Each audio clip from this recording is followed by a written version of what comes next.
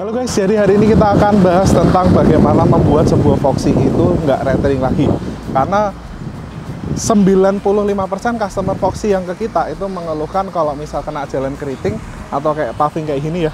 Nah, ini bener-bener uh, bikin rattling. Terutama kalau misal kalian tuh tinggalnya di daerah uh, Jakarta Utara, kayak Pik, lalu daerah Sunter yang kayak banyak paving-paving, atau kalian tinggal di Semarang juga, kayak Semarang bawah ya, daerah Purian Jasmoro, atau mungkin uh, daerah Semarang Indah di mana dataran rendah butuh penyerapan air, paving-paving gini semua, itu 95% Foxy yang dari kita mengeluhkan uh, rattling di bagian interiornya. Padahal itu kondisi baru belum kita apa-apain. Jadi kemarin ada beberapa customer yang minta tolong ke saya, tim tolong resetin dong ngilangin rattling di sebuah Foxy 2022-2023. Dan uh, katanya sih udah bawa ke Toyota juga masalahnya nggak selesai ya.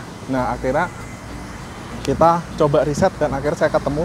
Jadi rattlingnya itu saya akan jelasin di video ini seperti apa dan cara penanganannya seperti apa.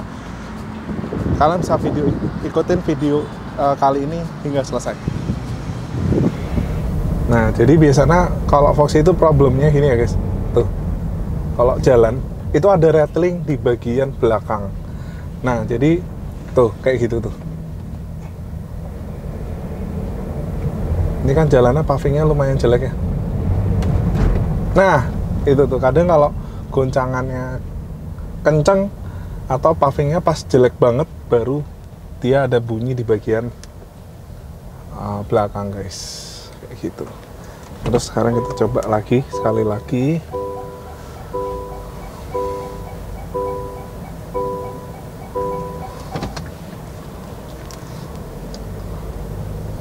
pelan-pelan nanti kita agak kebut sedikit. Jadi kedengerannya tuh waktu ngebut. Cuma kan nah tuh kayak gitu tadi tak tak tak gitu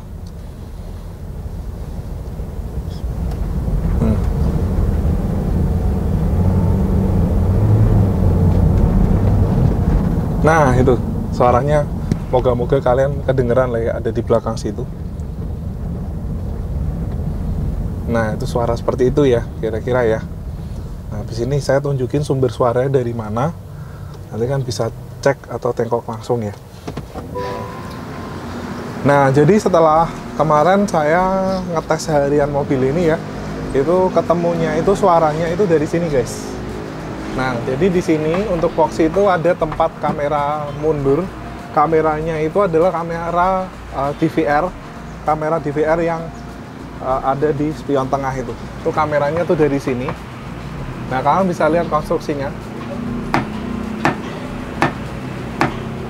Nah, jadi sebenarnya kalau misal di sini solusinya gampang, cuma kalian perlu tambahin busa doang di bagian sini.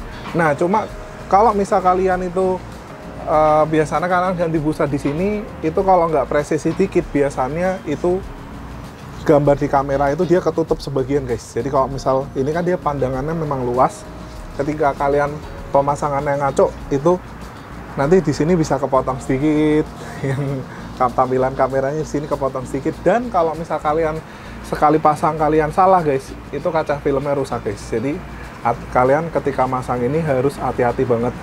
Nah, nanti kalian bisa lihat proses pemasangannya ya.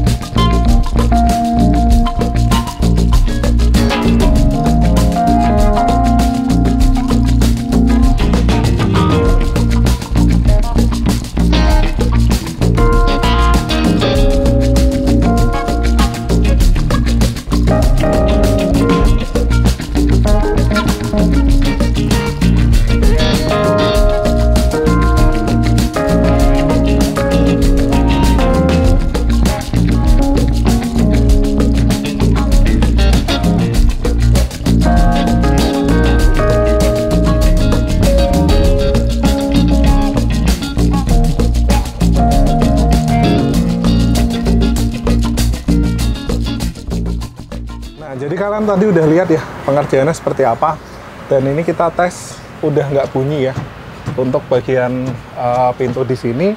Nah habis ini kita tes apakah nanti masih bunyi atau enggak uh, kita tes. Ini mobil juga udah kita lakukan peredam pemasangan peredam di bagian fender pintu tengah dan depan. Kayak gini ya Nah, udah kita peredam jadi di dalam lebih kedap dan ratlingnya tadi lebih kedengeran. Tapi kalau mobil kalian itu belum peredam, biasanya ratlingnya itu nggak terlalu kedengeran. Karena di dalam lebih berisik ya, jadi ratlingnya nggak terlalu kedengeran. Biasanya lebih kedengeran kalau kalian tuh udah pasang peredam di bagian bodi, terus tiba-tiba ada bunyi-bunyi di belakang tuh jadi kedengeran banget. Nah, ini sekarang kita udah coba kebut. Bahkan kecepatan tinggi pun uh, suaranya udah lebih berkurang jauh ya dibanding tadi karena kalau tadi memang berisik banget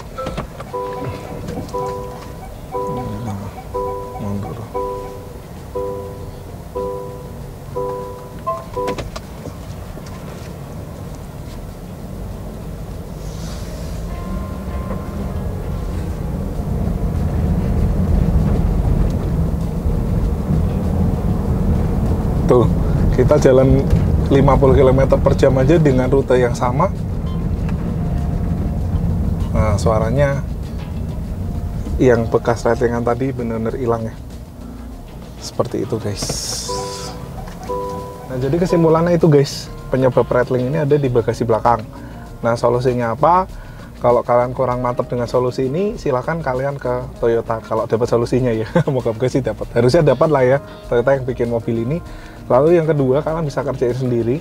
Uh, apa ya potong-potong busa kecil kalian pasang belakang dengan dengan uh, budget lebih murah resiko juga lebih besar gitu. Kalau di kita sih kebetulan atau kalian bisa beli barang kita. Ya kita jual mungkin nggak tahu lah harga berapa saya juga nggak enak juga jualnya juga ya. Sebenarnya busa cuma kecil cuma memang kita udah R&D lama.